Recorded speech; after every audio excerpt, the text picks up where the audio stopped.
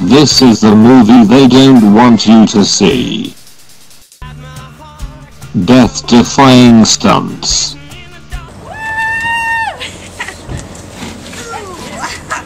Girls Gone Wild. Bicycles Gone Crazy.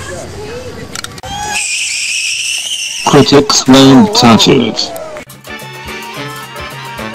Banned in all 50 states. On Thursday nights they emerge from the Shamrock Lounge and ride into the darkness. This is Invasion of the Coasters Bicycle Club. A crazy Jose production. Coming to a TV near you.